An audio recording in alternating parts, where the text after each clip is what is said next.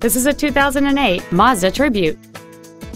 It features a 2.3-liter four-cylinder engine and an automatic transmission.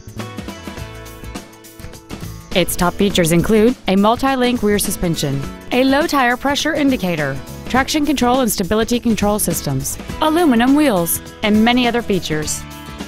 The following features are also included full power accessories, four-wheel independent suspension, cargo tie-downs, an engine immobilizer theft deterrent system, 12-volt power outlets, front fog lights, an anti-lock braking system, side curtain airbags, door reinforcement beams, and this vehicle has fewer than 52,000 miles on the odometer.